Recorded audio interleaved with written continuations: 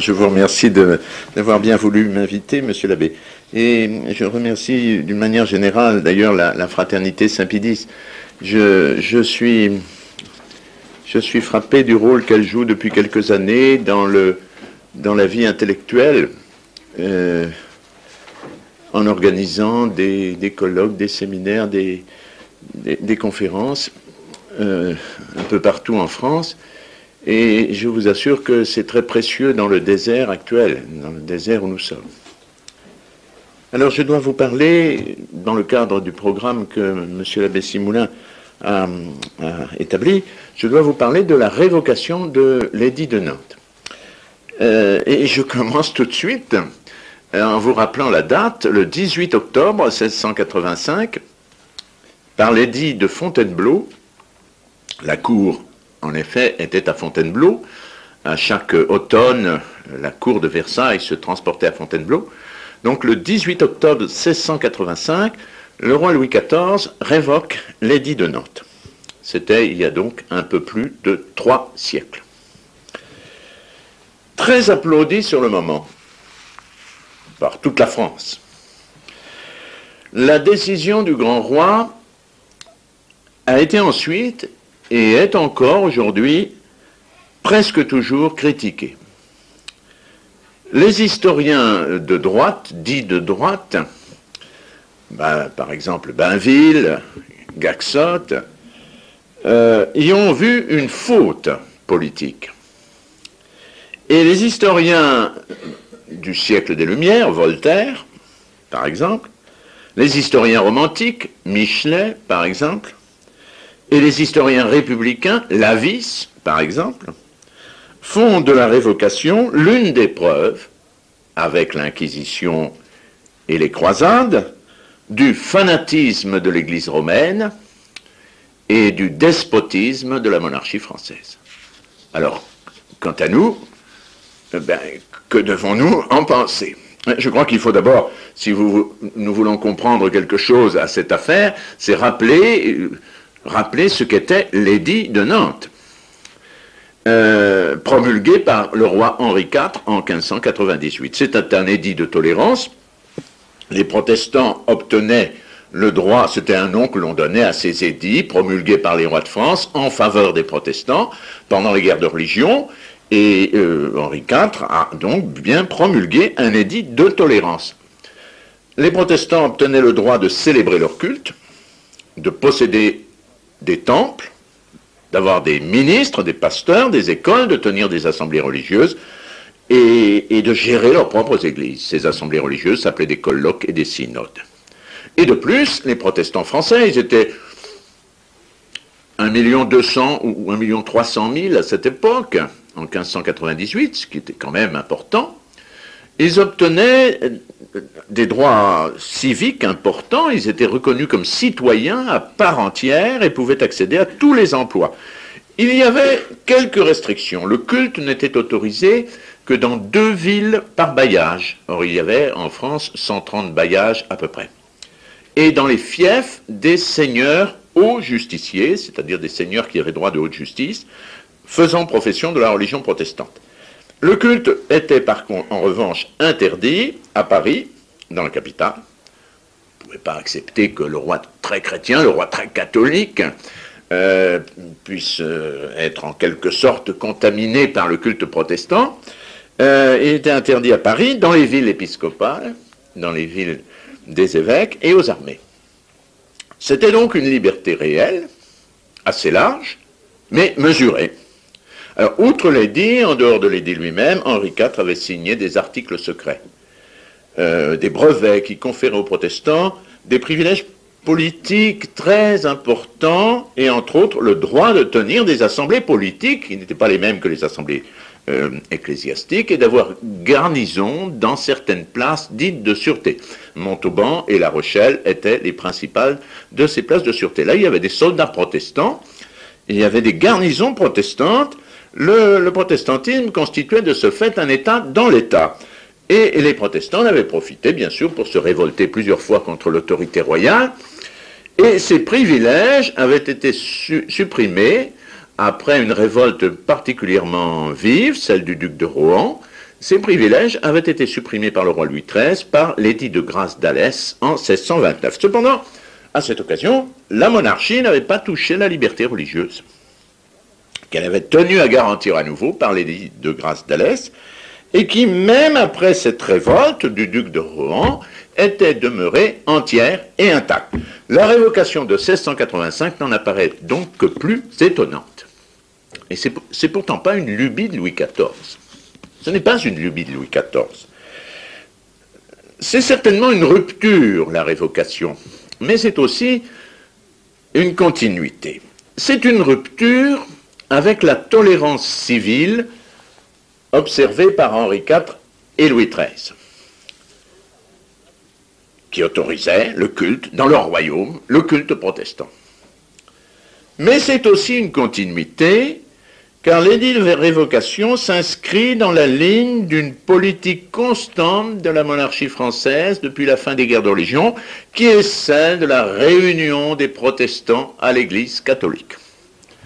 Unissant ses efforts à ceux des évêques et des ordres religieux, le pouvoir royal, depuis un siècle, avait essayé tous les moyens de réunir les protestants, de les réunir à l'Église romaine.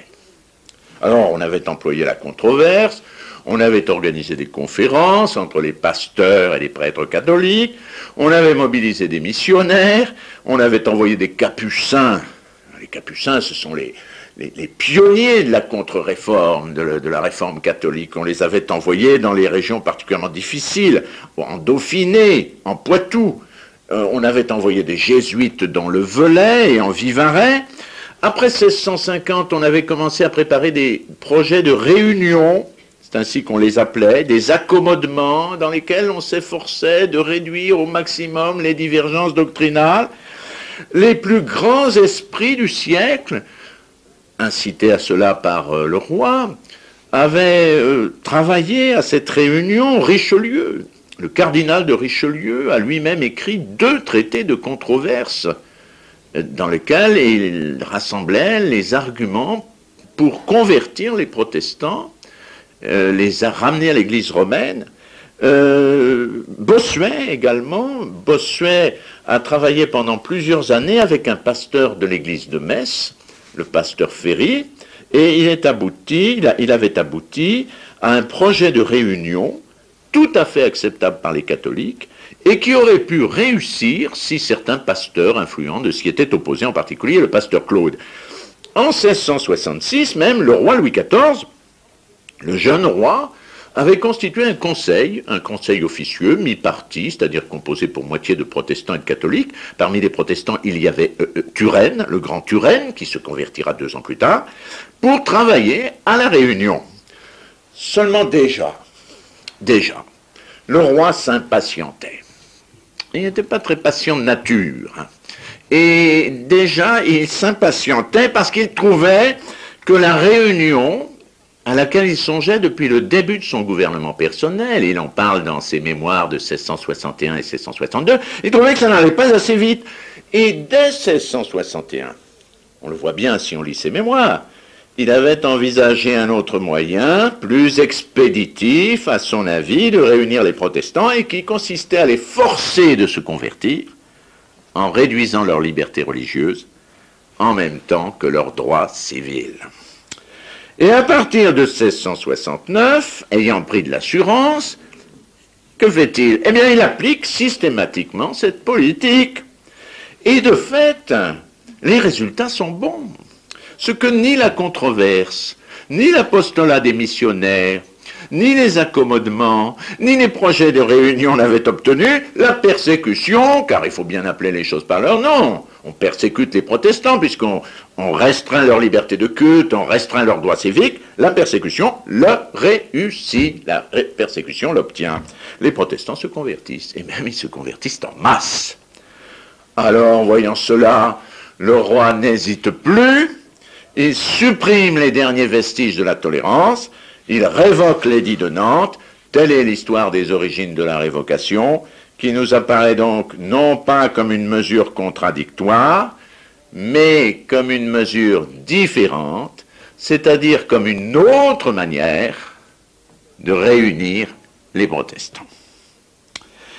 On peut dire que la révocation est la conclusion logique et nécessaire d'une persécution qui dure depuis une vingtaine d'années. 1685, oui, qui, remonte aux années 1665-1666. Euh, persécution qui a peu à peu réduit la liberté religieuse jusqu'à euh, la réduire à presque rien, selon un plan dit de retranchement ou de rétrécissement. On emploie, le roi Louis XIV employait ces mots et ses ministres aussi. Alors comment procédait-on? Eh bien on procédait par des vérifications. Il y a trois vérifications, 1661, 1669 et 1679. Et que fait-on lors de ces vérifications? Bien, on vérifie, on, vérifie que les, églises protestantes, on, essaie de savoir si les églises protestantes ont tous les titres pour exister, tous les titres légaux, si elles ont bien le droit d'exister. Et on s'aperçoit presque toujours qu'elles n'ont pas le droit, que tel temple a été construit alors qu'on n'avait pas le droit de le construire. Il a été construit après telle date, alors qu'on n'aurait pas dû construire après cette date. En même temps que euh, ces vérifications, on, ajoute des limitations, des interdits. Par exemple, on exige que soient détruits tous les temples où seraient entrés des relapses, c'est-à-dire des convertis au catholicisme retournés au protestantisme. Enfin, à force de vérifier, de contrôler, de limiter, on finit par faire disparaître presque toutes les églises protestantes et tous les temples. Euh, jugez-en. En 1685, il y avait dans le royaume 173 temples, alors qu'en 1610, à la mort de Henri IV, il y en avait 760. Vous voyez, ce travail de vérification a été très bien fait et on a pu de cette manière démolir, euh, bah, disons, les trois quarts des temples. Le premier euh, démoli a été le temple de Saint-Bosile en Languedoc, qui a été démoli en 1662. Euh, certaines régions qui, qui avaient de très nombreux temples, la région autour de Montauban, qui était la terre sainte des protestants, n'avaient plus un seul temple en 1685. Le Poitou non plus n'avait plus un seul temple en 1685. Alors on peut, on peut dire que dans ces conditions, la révocation ne révoque plus grand-chose. Est-ce qu'on peut révoquer ce qui n'existe plus? Euh, Alors, on, on, se demande s'il était bien nécessaire de révoquer.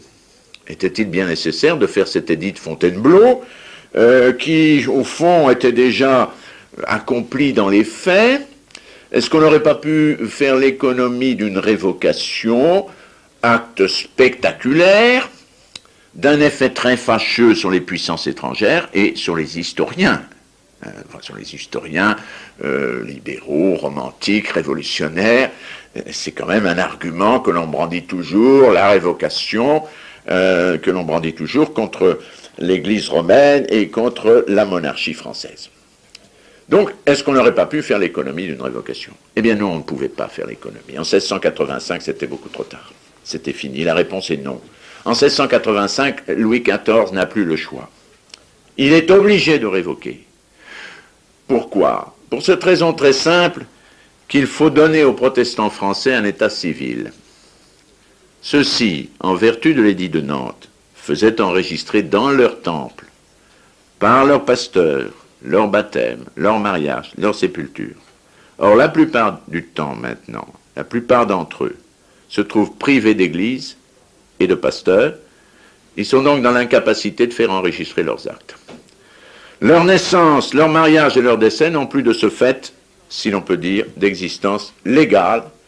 Ils sont donc dans une situation impensable légalement. Alors de deux choses l'une, ou bien on leur rend leur temple et leur ministre, ce qui ne peut pas se faire évidemment, puisque on travaille depuis 20 ans à les supprimer. Ou bien alors on les oblige à faire enregistrer leurs actes de baptême, mariage et sépulture dans les paroisses catholiques par des curés seulement pour ça. Il faut un édit nouveau. Il faut donc révoquer l'édit de Nantes et le remplacer par un autre. Et, cet autre, c'est l'édit de Fontainebleau d'octobre 1685. La révocation n'est pas seulement une mesure logique, à la suite d'une persécution qui dure depuis 20 ans, mais c'est aussi une mesure absolument nécessaire. Alors en quoi consiste-t-elle? Il, est temps, il est temps que je vous le dise. L'édit de Nantes était très long, très compliqué, et l'édit de Fontainebleau est très simple et très court. Il a été rédigé par le chancelier Letellier, un de ces ministres de Louis XIV qui travaillait vraiment dans le style concis. Il se réduit en effet à douze articles. 1, 2, 3 interdisent l'exercice du culte protestant. 4, 5, 6 concernent les pasteurs qui ont ordre de sortir du royaume dans les 15 jours sous peine de galère. Les pasteurs convertis au catholicisme bénéficieront de quelques exemptions fiscales et de dispenses d'études pour devenir avocats. Article 7, les écoles protestantes sont supprimées. Les articles 8 à 12 intéressent le commun des fidèles protestants. Ils doivent, sous peine d'amende, faire baptiser leurs enfants dans la religion catholique et les élever ensuite dans cette religion. Les hommes qui sortiront du royaume, interdiction de sortir du royaume, seuls les pasteurs doivent sortir, mais euh, les, les, fidèles ne doivent pas sortir. Interdiction de sortir du royaume pour les hommes sous peine de galère et pour les femmes sous peine de prison. Les biens des émigrés, ceux qui seront sortis sans permission, sont confisqués. Et, et enfin, l'article 12 conserve aux fidèles, au sujet de la religion prétendue réformée, c'est le nom qui lui est donné, la RPR, la liberté de conscience. Pourront les dix sujets de la religion prétendue réformée demeurer dans les villes et lieux de notre royaume, et y continuer leur commerce et y jouir de leurs biens sans pouvoir être troublés ni empêchés sous prétexte de la dite religion. Alors, certains, certains historiens ont dit que ce dernier article était dénué de sens. Mais ce n'est pas, pas exact. Les protestants sont libres de le rester. Sans culte, évidemment, sans pasteur. Mais ils sont, enfin théoriquement, libres de rester protestants. Et surtout, remarquez-le bien, leur droit de propriété est garanti, sauf en cas d'émigration. Ils ne sont pas systématiquement expropriés, comme le seront par exemple les juifs de l'Allemagne nationale socialiste. Alors cette mesure a reçu tout de suite de très grands applaudissements, a été saluée par de très grands applaudissements, cette, révocation. Euh, le monde politique administratif, euh, les évêques, le clergé tout entier, les écrivains français, et Dieu sait s'il y a beaucoup d'écrivains et de grands écrivains dans la France de l'époque, euh, ce furent des félicitations unanimes. On n'avait jamais rien vu de plus beau que cette révocation. Ben, je vous donne quelques échantillons. Bossuet, Bossuet, quand il félicite, ce n'est pas rien. Hein. Puis c'est dans un, très beau style. Dans l'oraison funèbre du chancelier Michel Letellier, prononcée le 26 janvier 1686 à l'église Saint-Gervais à Paris, il faut savoir que le chancelier Letellier avait rédigé le texte de l'édit. Bossuet célèbre l'événement au nom de l'épiscopat français tout entier. Touchés de tant de merveilles, et penchons nos cœurs sur la piété de Louis. Louis, c'est Louis XIV. Poussons jusqu'au ciel nos acclamations, et disons à ce nouveau Constantin, à ce nouveau Théodose, à ce nouveau Marcian, à ce nouveau Charlemagne, ce que les 630 pères dirent autrefois dans le concile de Chalcédoine, vous avez affermi la foi, vous avez exterminé les hérétiques. Si je quitte maintenant le clergé et j'entre dans le, monde laïque, je peux prendre comme bon exemple Madame de Sévigné. Madame de Sévigné qui écrit à sa fille, Madame de Grignon, vous avez su sans doute, ma bonne lady, par lequel le roi révoque celui de Nantes, rien n'est si beau que tout ce qu'il contient, et jamais aucun roi n'a fait et ne fera rien de plus mémorable.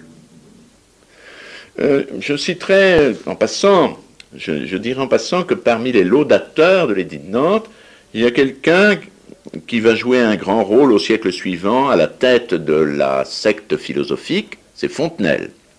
Fontenelle, ancien élève des jésuites, mais plus tard libertin, agnostique, philosophe, est l'auteur de vers qui célèbrent la révocation de l'édit de Nantes et ces vers furent lus dans une fête donnée en l'honneur de ce grand événement par les jésuites de Rouen dans leur collège.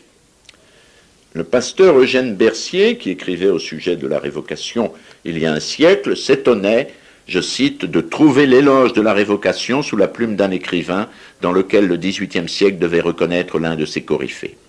Moi, je suis moins étonné, parce que Fontenelle a toujours, comme la plupart des philosophes des Lumières, été partisan d'un pouvoir autoritaire, un pouvoir qui règle la religion, un pouvoir comme celui que mettra en place un peu partout en Europe le despotisme éclairé et que mettra en place en France la révolution dite française. Euh, voilà ce qu'on peut dire de l'accueil qui a été fait à, la révocation. Alors maintenant, il faut enfin, il faut enfin nous prononcer. Enfin, qu'est-ce que c'est? Est-ce que cet acte est un acte légitime? Est-ce que c'est une faute? Alors, je dirais d'abord que c'est un acte légitime. La révocation euh, est légitime. Elle est légitime d'abord du point de vue du droit public du Royaume de France. Selon la constitution non écrite de la monarchie française, le roi n'est pas seulement un prince catholique, et ne pouvant pas ne pas l'être, mais il est encore le protecteur de l'Église, et vous savez que lors du sacre de Reims, en prêtant le grand serment dit serment du royaume, le roi jure de défendre les privilèges de l'Église et d'exterminer les hérétiques. Exterminare, ce qui ne veut pas dire euh, tuer, mais euh, chasser, chasser du royaume. Donc des deux édits, celui de Nantes et celui de Fontainebleau, l'injuste n'est pas le second, mais le premier. C'est Henri IV qui a enfreint les lois du royaume, et c'est Louis XIV qui les applique. Ce faisant, d'ailleurs, il crée une situation qui est celle de plusieurs pays d'Europe au XVIIe siècle, où, selon le principe posé en 1555 par la paix d'Augsbourg, la religion du prince doit être celle des sujets, cuius regio, eius religio. En Espagne et en Italie, au XVIIe siècle, la seule religion reconnue, autorisée est la catholique. En Angleterre, c'est la religion dite anglicane. Euh, le bill du test oblige tout officier du roi à répudier le dogme de la transubstantiation et à reconnaître la suprématie religieuse du souverain. Voilà donc pour le droit public. Mais on peut dire que la révocation euh, est également en accord avec la théologie morale catholique en tout cas n'est pas en contradiction avec la théologie morale catholique. En effet, cette théologie n'a jamais dit que dans un État chrétien, tous les cultes devaient être obligatoirement tolérés. Elle n'a jamais considéré non plus qu'une confession non catholique avait, dans tous les cas, droit à la tolérance civile d'un État catholique. Et vous savez que de toute façon, la théologie morale définit la tolérance comme une concession imposée par la prudence, mais non comme un droit. Vous savez tout cela. Hum, enfin, je pense à la définition du dictionnaire de Littré, qui, me paraît bonne, et qui dit à euh, qui dit à tolérance condescendance qui permet de supporter ce que l'on blâme. Une jolie définition. En tout cas, ce n'est pas un droit pour la théologie morale. On peut également justifier la révocation, dire qu'elle est légitime, sans blesser la vérité historique, euh, en rappelant qu'elle est un acte de légitime défense du catholicisme contre certaines agressions protestantes. Alors je sais bien que les historiens disent toujours, sous le régime de l'édit de Nantes, tout allait très bien, les catholiques et les protestants s'entendaient très bien, euh, Madame Labrousse, qui est une grande historienne du protestantisme, parle de coexistence pacifique au niveau populaire. C'est vrai, c'est vrai. En tout cas, enfin, ce n'est pas faux. Euh, tenez à Lyon, par exemple. Nous avons plusieurs exemples de bonnes relations entre les protestants et les catholiques sous le régime de l'édit de Nantes, c'est-à-dire avant 1685. Par exemple, Madame Odile Martin, qui a fait un livre sur la conversion des protestants à Lyon, euh, nous, rapporte ce fait. Les notaires lyonnais catholiques acceptaient bien volontiers dans les actes, dans les testaments des protestants qu'ils inscrivaient sur leurs minutes, de noter les formules euh, religieuses protestantes. Par exemple, Jésus-Christ seul médiateur. Euh, on connaît aussi les bibliothèques de plusieurs grands bibliophiles lyonnais au XVIIe siècle. Et l'un d'eux, Henri Gras, qui avait une très belle bibliothèque, était protestant, mais dans cette bibliothèque, il y a beaucoup d'ouvrages catholiques, d'ouvrages de controverse, d'apologétique, euh, qui montrent chez le, propriétaire de cette bibliothèque une grande curiosité à l'égard du, du, monde catholique. Bon, donc il y, a, il y a du vrai dans la formule de Madame Labrousse. Mais je crois qu'il ne faut pas oublier non plus les injures faites par les protestants aux prêtres et au culte catholique. Par exemple, les irrévérences commises envers le Saint-Sacrement. Elles sont nombreuses au XVIIe siècle. La Compagnie du Saint-Sacrement était une confrérie qui s'était fondée au début du siècle pour euh, obtenir de la part des pouvoirs publics euh, des mesures de défense du culte et de protection des prêtres et les annales de la Compagnie du Saint-Sacrement relèvent beaucoup d'irrévérences commises envers le Saint-Sacrement, euh, soit dans les églises elles-mêmes, soit sur le passage du Saint-Sacrement dans, dans les rues, sur les places, au moment où on portait le Saint Viatique aux malades. Les Huguenots, puisque c'est ainsi qu'on les appelait, se moquaient très souvent des images saintes. Lorsqu'ils passaient devant des croix, ils enfonçaient leur chapeau. Enfin, quand ils étaient en majorité dans une ville, ils en profitaient souvent pour, interdire aux catholiques l'accès aux métiers dont ils détenaient les maîtrises. Quand ils occupaient les charges municipales, ils surchargeaient les catholiques dans la répartition des impôts, dans le logement des gens de guerre. Mais c'était surtout les abjurations qui déclenchaient la fureur des protestants. Et je l'ai constaté en lisant les annales de la ville de Montauban. Montauban était une ancienne place de sûreté protestante, il y avait dans cette ville une population protestante qui représentait à peu près 55 à 60% de la population totale.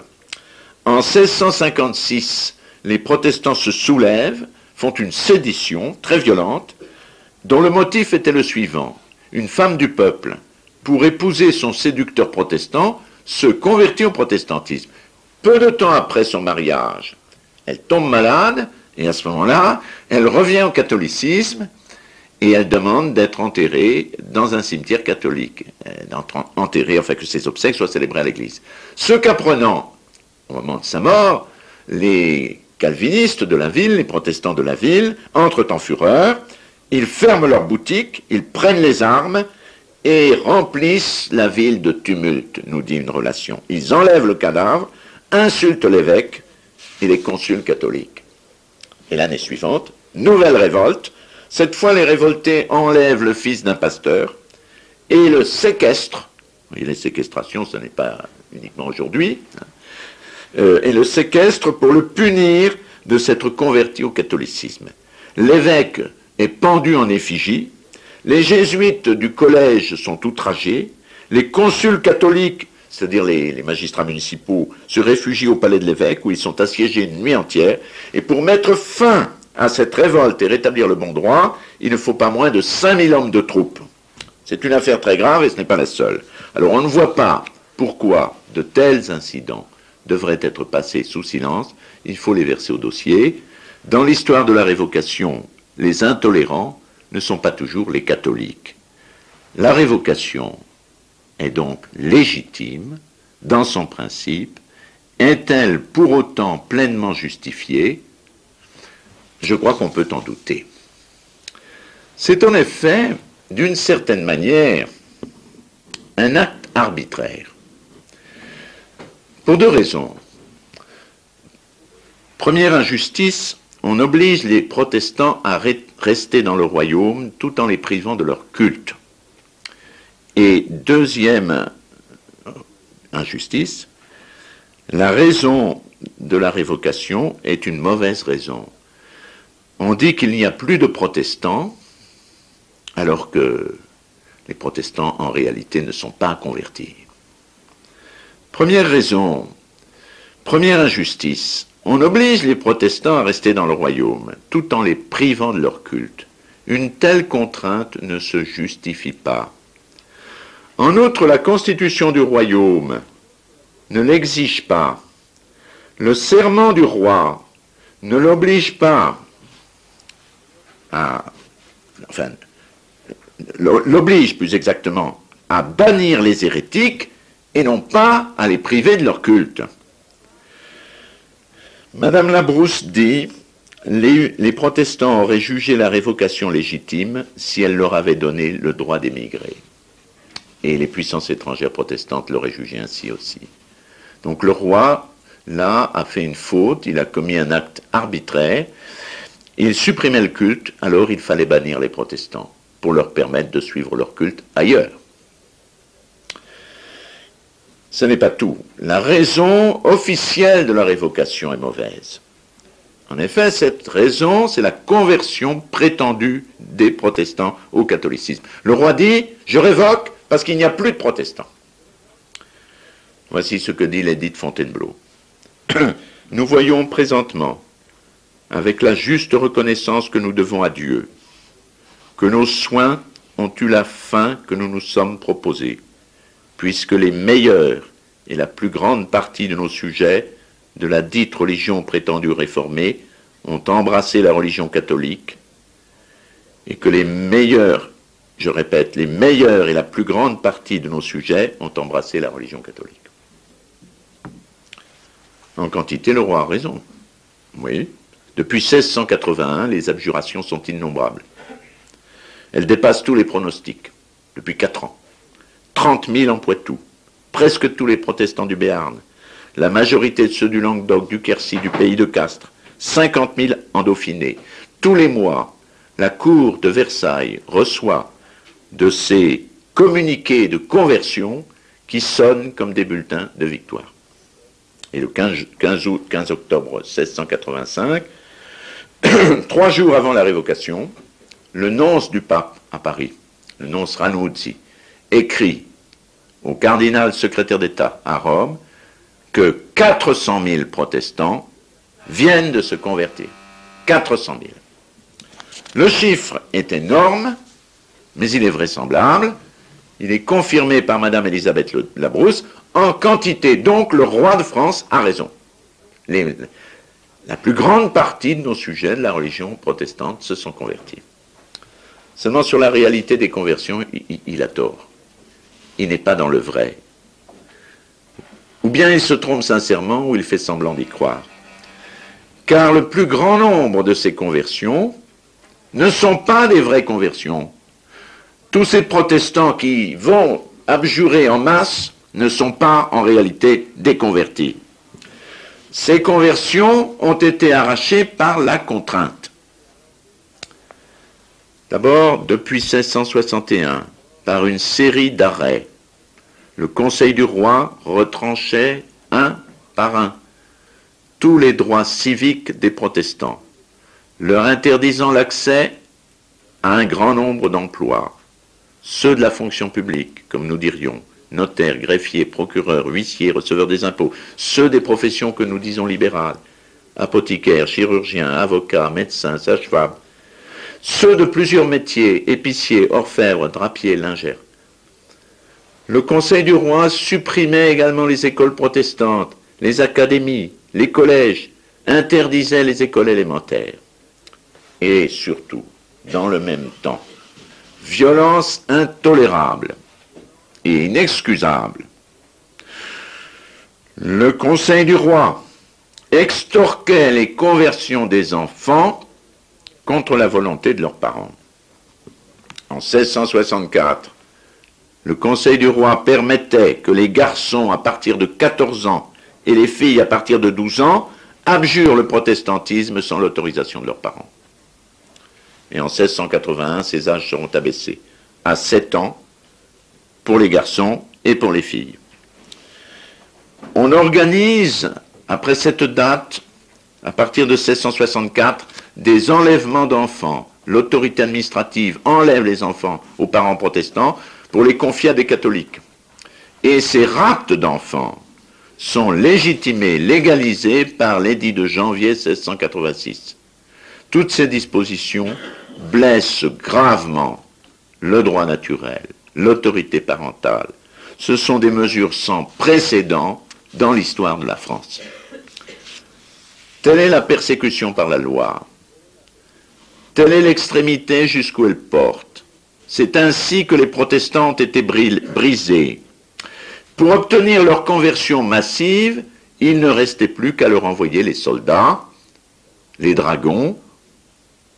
Ce furent les fameuses dragonnades.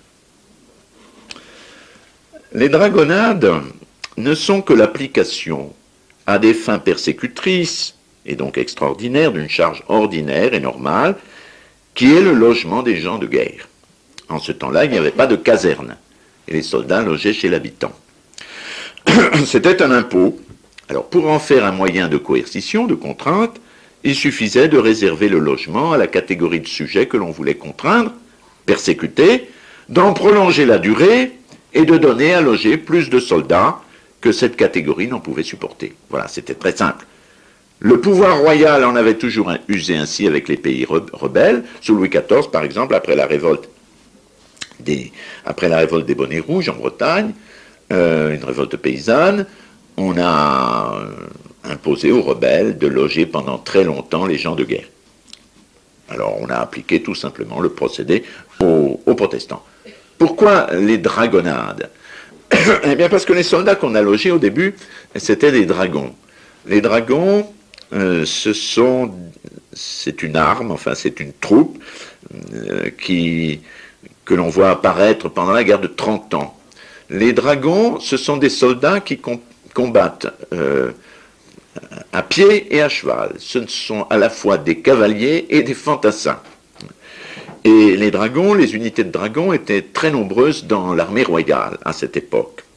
Voilà les raisons de, l'emploi de ce terme. Alors on fait un premier essai en 1659 avec les, protestants de Montauban. Mais la première grande dragonnade est celle de, de Poitou en 1681. Et l'auteur en est l'intendant de cette province, le préfet, si vous voulez, de cette province, qui s'appelait Marillac. Il, prend, il demande des dragons et les loge dans le Poitou. Deuxième dragonnade en 1683 en Vivarais.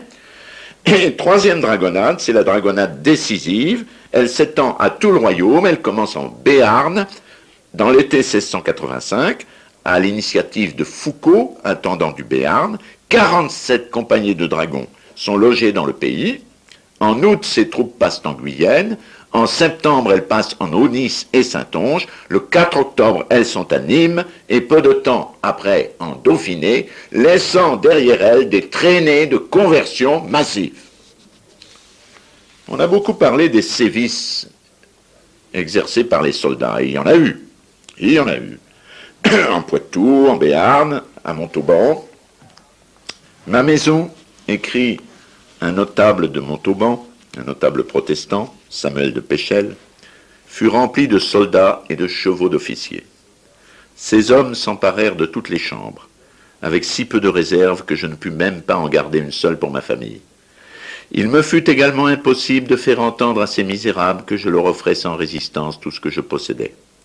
Ils enfoncèrent toutes les portes, brisèrent les coffres et les armoires, préférant saccager mon bien de cette façon brutale que d'accepter les clés que ma femme et moi leur tendions. Je fus mis à la porte avec ma femme, qui était sur le point d'accoucher, et quatre petits-enfants, et nous n'eûmes le droit de rien emporter sauf un berceau et quelques langes pour l'enfant qui allait naître.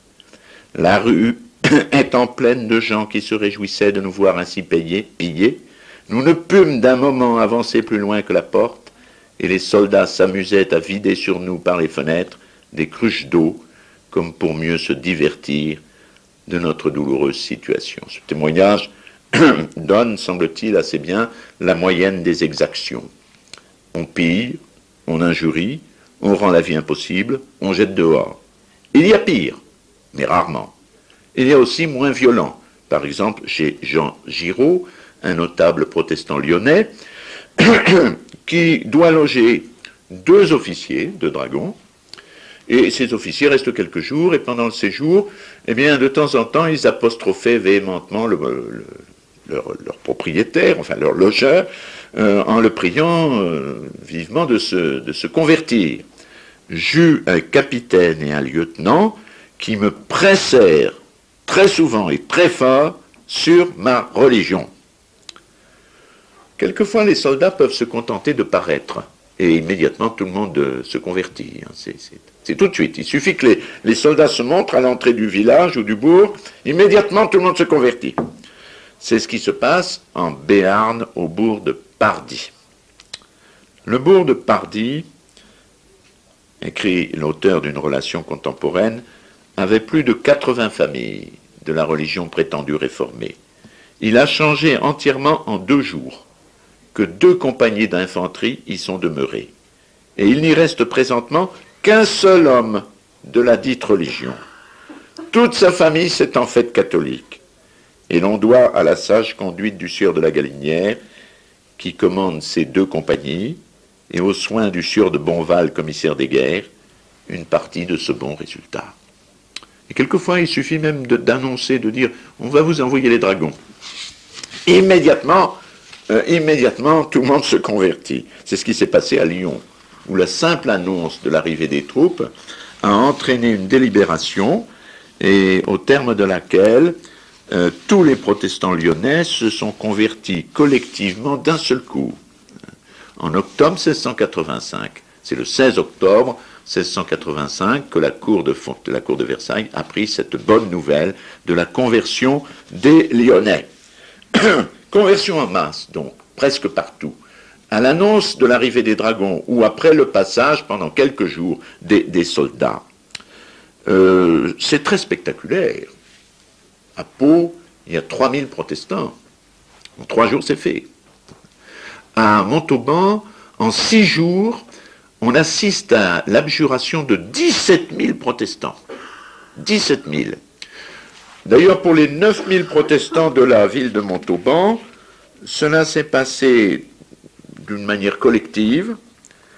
Je lis dans une relation du temps qu'après l'arrivée des troupes, le lendemain, il fut conclu par délibération que l'on rentrerait dans l'église romaine.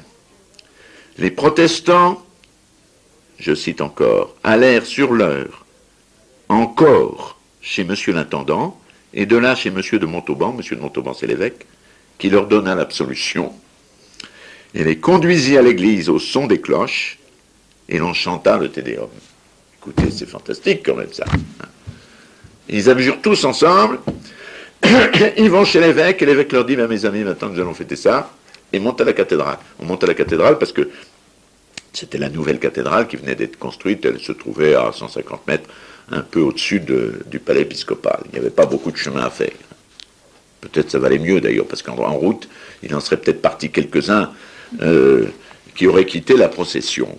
Donc, acte spectaculaire. Et évidemment, qu'est-ce que vous voulez Il y en a qui crient au miracle. Bossuet, par exemple, s'est enthousiasmé. Il a dit euh, qu'on n'avait jamais vu une chose pareille dans l'histoire de l'Église, qu'une hérésie, euh, voir ainsi une hérésie tomber en quelques jours, c'est un phénomène unique dans les annales de l'Église. C'est un acte merveilleux. Il faut en remercier la Providence. D'autres se frottaient les yeux et se demandaient si on n'avait jamais vu des, gens appelés protestants. Est-ce qu'il en avait existé quelque part? Tout le monde, tout le monde croyait ou faisait semblant de croire à la réalité de ces conversions massives. Euh, on aurait quand même pu se dire une chose. Ils ne sont pas très attachés à leur religion puisqu'ils se convertissent très vite. Hein. C'est vrai, écoutez, moi j'ai quand même cette réaction, je ne sais pas si vous l'avez, enfin de voir comme ça 17 000 personnes abjurées en 7 jours, sans persécution aucune, enfin sans persécution, je veux dire, sans emprisonnement, sans, violence physique, c'est quand même un peu extraordinaire. Alors on peut se dire, ils ne sont pas très attachés à leur religion. Et c'est probablement ce que le roi s'est dit. Il s'est dit, ces gens-là, bah, écoutez, quand même, c'est pas la peine de leur conserver cet édit de Nantes, puisqu'ils sont si peu protestants. Seulement, c'est pas parce qu'ils s'en vont, euh, ils quittent leur religion si facilement, qu'ils vont s'attacher pour autant et se convertir vraiment. C'est pas parce qu'ils abjurent en masse leur religion qu'ils s'attachent pour autant à l'Église romaine. Ce ne sont pas de vraies conversions, et ça, on aurait quand même pu le, voir. Et, certains d'ailleurs l'ont vu, Madame de Maintenon, mais ils ne sont pas nombreux. La plupart des abjurations collectives sont des faux semblants. Et la grande masse de ces catholiques de la dernière heure ne sont pas plus catholiques ni romains qu'ils l'étaient avant leur abjuration. Et on va s'en apercevoir tout de suite. Non mais tout de suite. Et, qui va s'en apercevoir? Eh bien les missionnaires qu'on va envoyer tout de suite pour, euh, achever le travail. Missionnaires qu'on envoie aux néophytes pour leur enseigner leur nouvelle religion. Alors là, le ton change. On avait eu des communiqués triomphants. Ils se convertissent tous, c'est magnifique. Et puis maintenant, ce sont des rapports consternants. Les nouveaux convertis, c'est ainsi qu'on les nomme, refusent de faire leur Pâques. C'est dans une de ces lettres. Dans tous les esprits, un attachement incroyable à l'hérésie. Un attachement incroyable à l'hérésie. Des gens qui viennent de se convertir en masse. En Languedoc, même des illusions. Les curés se lamentent. Leurs nouvelles ouailles boudent l'église, elles ne veulent pas venir, elles refusent les sacrements. 10% à peine remplissent le devoir pascal. Et les années passent, et rien ne change. Ils restent chez eux, ils ne viennent pas. Et dans l'émission, vers 1720, on fera chanter ce cantique, prière pour les nouveaux convertis. Mon Dieu, vous voyez leur aveuglement sur le plus grand de nos mystères, l'Eucharistie. Ils contredisent sottement vos paroles qui sont si claires. Sans vos bontés, ô doux Jésus, ils sont damnés, ils sont perdus.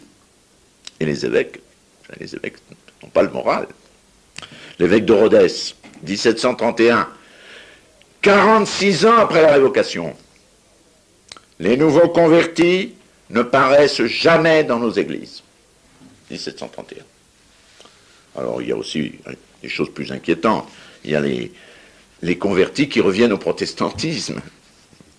Il y a ceux qui font semblant d'être des vrais convertis pour pouvoir se marier, et ainsi de suite. En somme, les nouveaux convertis ne le sont pas et ne l'ont pas été pendant longtemps. En invoquant leur conversion, Louis XIV avançait une fausse raison et le fait qu'il était de bonne foi n'y changeait rien. Sa décision de révoquer s'appuie sur un faux semblant, sur un motif non fondé, et cela suffit à la rendre vicieuse. Nous devons quand même la considérer d'un autre point de vue, du point de vue de son utilité. Je veux dire, la révocation a-t-elle fait finalement progresser le catholicisme? Il y avait 800 000 protestants dans le royaume en 1670. en 1789, il n'y en a plus que 500 000. Alors ben, c'est un gain pour le catholicisme, sans aucun doute. Et puis, il faut quand même dire qu'à la fin de l'Ancien Régime, un certain nombre de régions anciennement protestantes se sont, ont fini quand même par se convertir. C'est le cas du pays de Montauban. Le Montalbanais a été longtemps réticent, les nouveaux convertis ont été très durs, et puis à partir de 1750-1760, ils ont commencé à aller à l'église. Donc, on peut dire que le catholicisme a progressé dans certaines régions et que l'unité religieuse du royaume a été renforcée. Seulement, il faut, il faut le dire, la révocation n'y est, pas pour grand-chose. La révocation et la persécution n'ont fait que de faux convertis. Ce sont les missionnaires et ce sont les curés de paroisse qui ont réalisé les véritables conversions. Alors pourquoi la révocation? À quoi a-t-elle servi Est-ce qu'on n'aurait pas pu en faire l'économie? C'est la question qu'on peut toujours poser. Sans doute, sans doute, mais il faut quand même observer que sans la révocation, l'Église n'aurait jamais entrepris ce grand effort missionnaire. La révocation a placé en somme les évêques et les ordres religieux devant le fait accompli. C'est comme si on leur avait dit, voilà des catholiques de nom, à vous d'en faire de vrais catholiques. Alors, alors on s'est mobilisé. Grand remue-ménage. L'archevêque de Paris envoie 800 prédicateurs dans les provinces. 600 jésuites sont délégués par la compagnie. Des milliers de capucins. Ah, il y en a beaucoup des capucins, il faut dire. Hein. Il y en a 10 000 en France. Alors, avait de la ressource, donc on a envoyé des milliers de capucins dans les régions à, convertir. on a imprimé des milliers, des centaines de milliers de livres, de messes. Alors, les protestants ne voulaient pas de latin. Alors on a composé, on a négocié, on leur a dit, on va vous mettre des traductions françaises. il n'y en avait pas jusqu'à cette époque. Alors on a fait des livres de messe avec le latin gauche et le français à droite. Ils voulaient continuer à lire le Nouveau et l'Ancien Testament. Alors, on leur a fait des traductions surveillées par les évêques, des traductions contrôlées, et on a diffusé en 1687 500 000 exemplaires du Nouveau Testament en français. Ah, ça, c'est un bienfait, c'est un des bienfaits de la révocation, on peut le dire. La multiplication des livres de prière et de méditation. Au XVIIIe siècle, les catholiques français, les nouveaux convertis, mais aussi les autres, suivront la messe dans leurs livres de messe, feront des lectures de la Sainte Écriture, et même les plus simples gens, ils se nourriront de la prière des psaumes, et cela, ils ne devront pour une bonne part la révocation. Sans la révocation, le clergé aurait sans doute conservé son ancienne défiance vis-à-vis des traductions françaises de la Bible et des textes liturgiques. Défiance justifiée au temps où les seuls traducteurs étaient des hérétiques, mais qui ne l'étaient plus. Et puis, j'ajoute ceci, selon certaines sources, mais là je, je n'ai pas de données très certaines, la révocation aurait rendu à l'Église un autre service appréciable, celui de couper court à des négociations œcuméniques, fort dangereuses.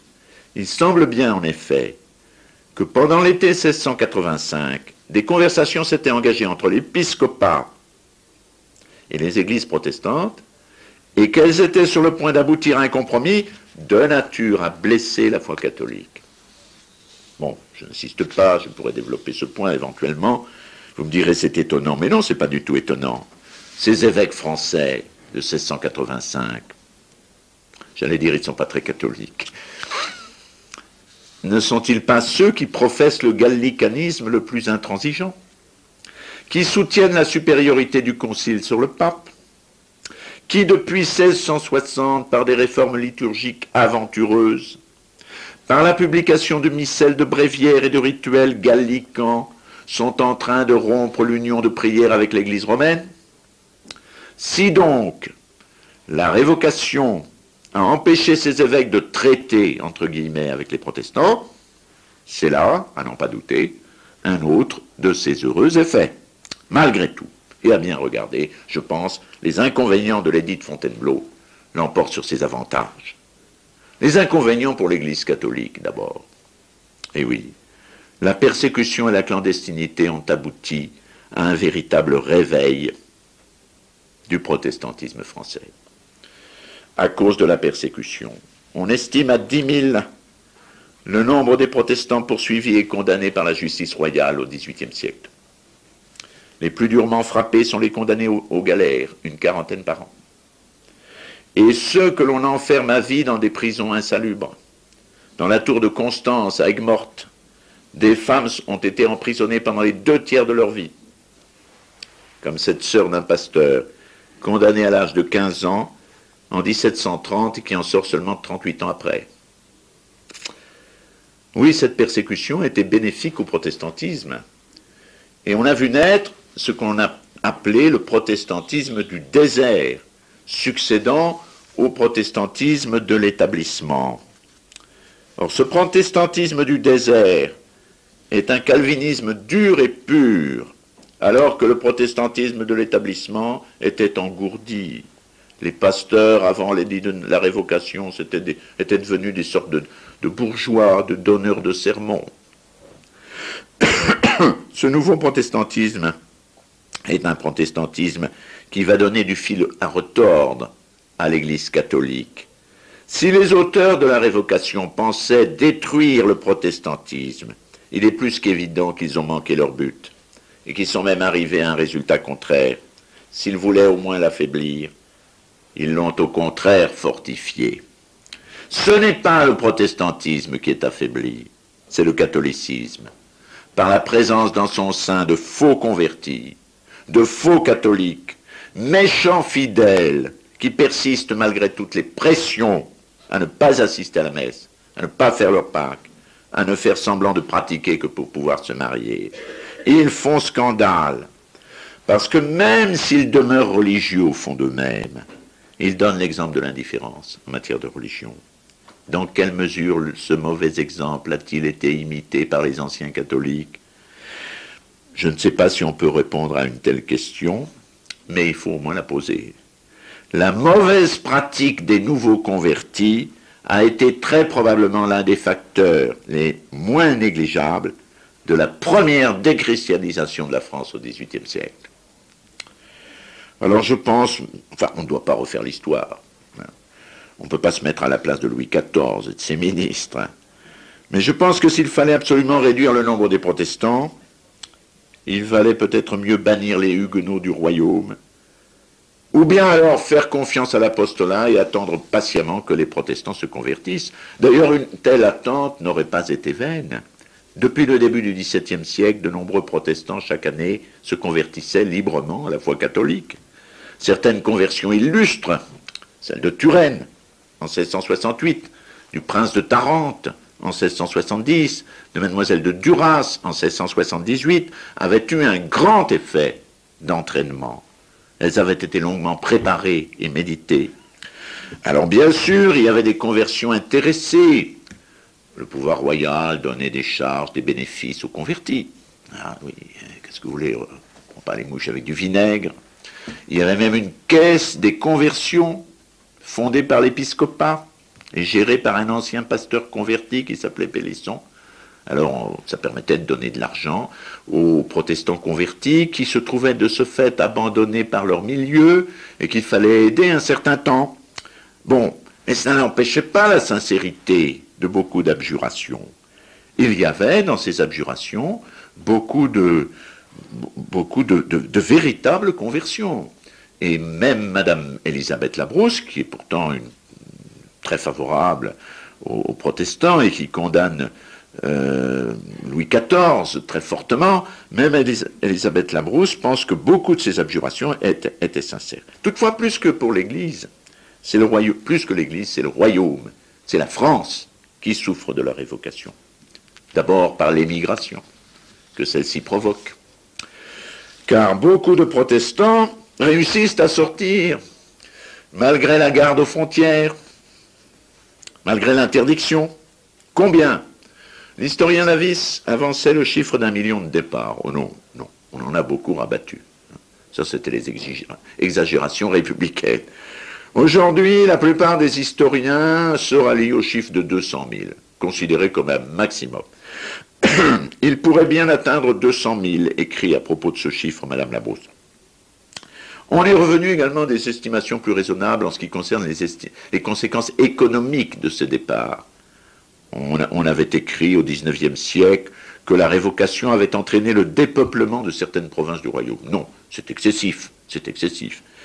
Euh, cependant, l'effet néfaste de l'émigration n'est pas négligeable. Les chiffres ne disent pas tout. La qualité des émigrés compte plus que leur quantité. La France a perdu des, des artisans de qualité, des marins, des soldats, des professeurs. De l'argent aussi. Par exemple, beaucoup de négociants lyonnais sont partis avec leur argent. L'un d'eux est parti avec 600 000 livres en Hollande. Vous savez aussi que la puissance militaire de la Prusse doit beaucoup aux officiers français émigrés euh, qui appartenaient à la religion protestante. À ses frères ennemis de l'extérieur, ces, ces Français qui vont maintenant combattre la France dans les coalitions contre Louis XIV, vont bientôt s'ajouter ceux que la révolte contre une injuste persécution suscitera à l'intérieur du royaume. Je veux parler des Camisards de cette révolte des Camisards qui a obligé le pouvoir à envoyer de véritables armées dans les Cévennes. Et l'une de ces armées même a été battue en 1703. Les Camisards ont failli prendre Nîmes. Par l'édit de Fontainebleau, on peut dire que la monarchie française s'est aliénée un bon nombre de ses sujets protestants et qu'elle s'est portée ainsi à elle-même un tort irréparable. Alors la question se pose pour finir de la responsabilité. Qui est responsable? La révocation a écrit un historien en, 1985, la Bermogat, la révocation a été l'affaire des laïcs. C'est pas faux. C'est pas faux, mais c'est pas tout à fait vrai. Bien sûr, la décision a été prise par Louis XIV et par ses ministres, mais les évêques y ont poussé. Depuis 30 ans, les assemblées du clergé de France réclamaient au roi la réduction, comme elle disait, des protestants. Elles ne demandaient pas expressément la révocation, mais elles voulaient que l'édit soit rétréci. C'est l'expression que les évêques emploient. Que si votre autorité écrit l'Assemblée de 1651 parlant au roi, ne peut étouffer l'édit d'un coup, elle le rendit languissant et le fit périr peu à peu par le retranchement et la diminution de ses forces. En 1675, les évêques demandent carrément l'extirpation entière de l'hérésie. Il est vrai que Louis XIV n'avait pas besoin de beaucoup d'encouragement. Et nous avons vu tout à l'heure que dès 1661, il était décidé lui aussi à réduire les protestants. Quant à la décision même de révoquer, ce serait bien mal connaître le roi que de croire qu'il se la laissa dicter par quiconque. Les historiens romantiques, Michelet, entre autres, ont accusé Madame de Maintenon et le père de la chaise, jésuite confesseur du roi, d'avoir fait pression sur Louis XIV. Non, la critique historique a fait justice de ces allégations qui ne reposent sur rien. D'ailleurs, nous l'avons vu, le roi était obligé de révoquer, il ne pouvait plus faire autrement. Mais alors pourquoi le fait-il précisément? Ça c'est la question peut-être plus importante. Pourquoi le fait-il précisément dans ce mois d'octobre 1685 Comme il ne s'est jamais expliqué à ce sujet, nous sommes obligés de faire des suppositions. Alors certains historiens ont avancé euh, cette thèse, le roi voulait expier l'adultère. Il avait été pécheur, pécheur public pendant de longues années. Euh, bon, c'est assez vraisemblable. Euh, c'est assez vraisemblable qu'il ait voulu, par un acte, comment dirais-je, très favorable à l'Église, expier en quelque sorte son péché public. Oui, mais on n'a aucune preuve de cette, euh, de cette hypothèse. Enfin, rien ne permet de la vérifier. Ce que nous savons, c'est que Marie-Thérèse, la reine, est morte en 1683, que Louis XIV s'est remarié morganatiquement, c'est-à-dire secrètement avec Madame de Maintenon, dans les mois qui ont suivi la mort de la reine. Et puis c'est tout. Et puis c'est tout. Mais le roi n'a jamais dit, euh, ou laissé entendre, qu'il révoquait. Euh, pour expier son péché public. Par contre, ce qui est plus probable, c'est un calcul politique. Nous sommes en pleine crise gallicane. Les relations avec le pape sont très tendues avec Innocent XI. Il faut dire qu'Innocent XI, ce n'est pas un caractère hein, très agréable, très difficile, très susceptible. Vous savez, on dit toujours que les papes aiment la France, mais non, c'est pas vrai. Ce n'est pas vrai du tout. Les papes qui ont aimé la France sont très peu nombreux. Je crois que dans l'histoire contemporaine, on aurait difficulté à en trouver un seul. En tout cas, Innocent XI ne l'aimait pas. Il n'aimait pas la France, il n'aimait pas les Français, et il n'aimait surtout pas le roi de France. Alors il est très mécontent, et il a raison, de la déclaration des quatre articles de 1682 votée par l'Assemblée du clergé de France. C'est une déclaration très gallicane. Le, le concile est supérieur au pape, dit cette déclaration. Alors le pape euh, utilise des moyens de rétorsion, il refuse de donner l'institution canonique aux évêques nommés par le, roi. Donc euh, un tiers des, évêchés français se, retrouvent sans évêque. Alors, Louis XIV a peut-être voulu euh, amadouer le pape. Il est tentant, écrit le père Blais, historien des relations entre la France et le pape, il est tentant de voir dans l'édit de Fontainebleau un geste de Louis XIV destiné à impressionner la cour de Rome et à contraindre Innocent XI à régler à l'amiable les conflits qu'il opposait alors au roi très chrétien. Oui, c'est tentant, l'hypothèse est séduisante, mais alors il faut admettre que si elle est juste, le calcul du roi n'est pas bon. Car le pape n'est pas du tout content de l'édit de Nantes. Il a même des paroles très dures contre Louis XIV. Ce roi, dit-il, cherche bien plus les avantages de son royaume que ceux du royaume de Dieu. Il a chassé les protestants, mais nullement par un zèle de religion. Il attend cinq mois, le pape, pour adresser au roi les félicitations qui s'imposent. Et six mois pour faire célébrer un tédéum, et un petit tédéum dans une petite église de Rome. Enfin, c'est pas très. Et, Louis XIV avait écrit ceci Nous ne voulons qu'une seule religion dans notre royaume. Le roi, réplique Innocent XI, n'aurait jamais dû parler ainsi. Les princes hérétiques n'en veulent, veulent pareillement qu'une dans leurs États. Mais le roi de France aurait dû dire Je ne veux que celle qui est la seule véritable. Et oui. Propos éclairants. Non seulement Rome n'a pas poussé à la révocation, mais encore elle l'a désapprouvé. La responsabilité de Louis XIV n'en apparaît que plus grande. La responsabilité de, Louis XIV est celle de ses ministres, surtout le clan Letellier. Michel Letellier, son fils Louvois, enfin la famille Letellier. Les Colbert étaient plus réticents. Mais enfin, ce sont des divergences de détails. En fait, sur l'essentiel, tous les ministres de Louis XIV étaient d'accord. Et qu'est-ce que c'était que l'essentiel pour eux? C'était la suppression du protestantisme en France, à régler par l'État, pour l'avantage de l'État. Et je crois que nous touchons ici aux raisons profondes. Si la révocation a eu lieu, c'est parce que les hommes au pouvoir, dans l'État comme dans l'Église, oui, c'est très important de savoir quelle est la philosophie des hommes au pouvoir. On dit ils sont méchants, ils sont, affreux, ce sont des crapules. On dit ça à toutes les époques. On le dit aujourd'hui, c'est d'ailleurs bien souvent euh, euh, sont des propos qu'on peut tenir. Hein.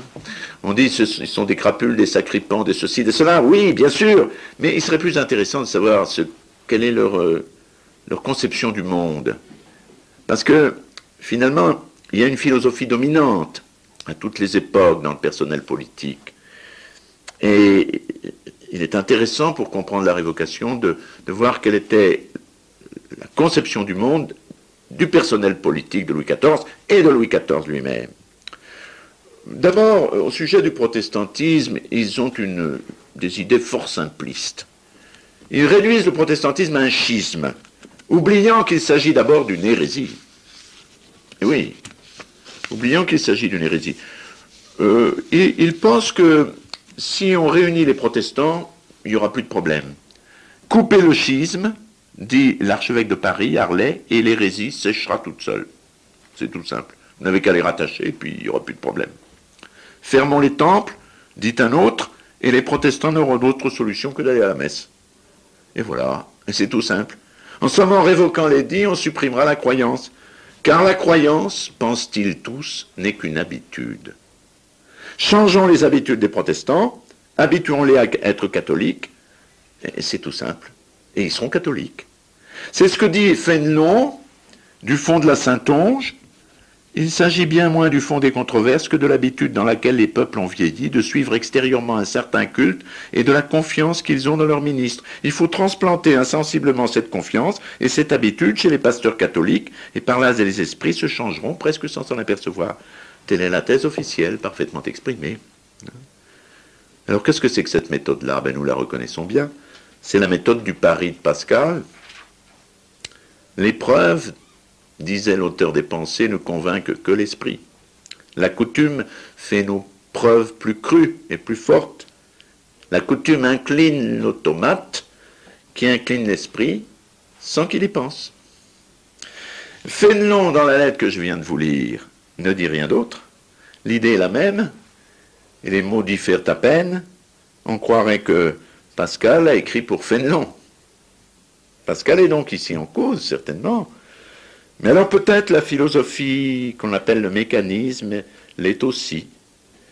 Car la conception du mécanisme de la nature humaine, c'est-à-dire l'idée selon laquelle l'homme est fait de deux pièces distinctes, l'automate et l'esprit, et selon laquelle encore il est impossible de convaincre l'esprit sans avoir au préalable réglé l'automate par la création de nouvelles habitudes.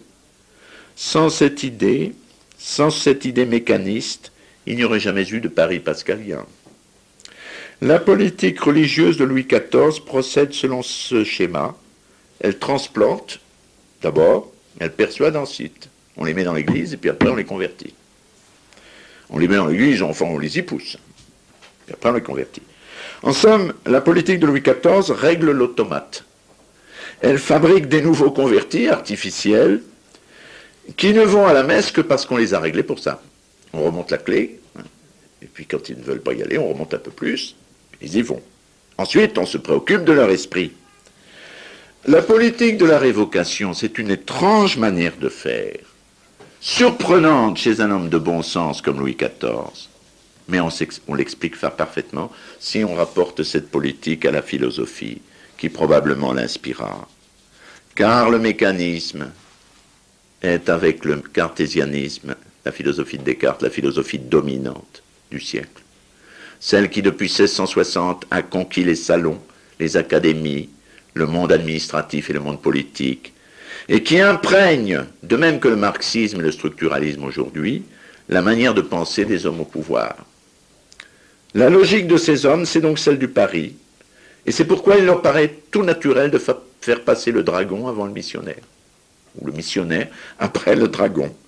Le dragon d'abord pour l'automate, et le missionnaire ensuite pour l'esprit. Une telle façon de concevoir le gouvernement, je vous assure que c'est une façon tout à fait révolutionnaire et nouvelle. C'était pas celle de Richelieu en tout cas. C'était pas celle de Louis XIII. Richelieu n'aurait jamais imaginé de pareils procédés. Ah, il combattait la révolte protestante. Et il la combattait en personne. Il était lui-même au camp de la Rochelle. Il couchait tout beauté dans sa tente. Et puis le soir, tout beauté aussi, il écrivait un traité de controverse. Mais pour la conversion des protestants, il ne voulait compter que sur la douceur, il l'a répété bien des fois. Il ne voulait que s'adresser à la raison. Il l'a dit aussi, je veux retirer les hérétiques de leur hérésie par la raison, pendant que le roi les retire de la rébellion par la force. Il écrit cela dans son traité de controverse. Car il était le tenant d'une autre philosophie, qui était celle de saint Thomas d'Aquin, je puis dire qu'entre Richelieu et Louis XIV, il y a tout l'espace d'une révolution philosophique. Et cependant, le système de la révocation ne se réduit peut-être pas à une conception de la nature humaine. L'étatisme aussi est un élément essentiel. Pour Louis XIV et pour ses ministres, l'État est appelé à tenir dans la vie du royaume une place de plus en plus grande. Et son intervention dans les affaires religieuses ne doit pas se restreindre à la protection de l'Église, mais au contrôle permanent des affaires religieuses. Et nous le voyons pendant tout le règne de Louis XIV. Louis XIV est une sorte de contrôleur permanent des affaires religieuses. L'étatisme d'ailleurs s'accorde parfaitement avec la philosophie mécaniste. Car la philosophie mécaniste légitime une contrainte que seul l'État peut exercer. Ainsi, je pense, que nous trouvons aux origines de la révocation, ces deux perversions de l'esprit moderne, nous les trouvons associées. Et Edith Fontainebleau nous, nous apparaît en fin d'analyse plus comme une contre-vérité que comme une faute. Je vous remercie de votre attention.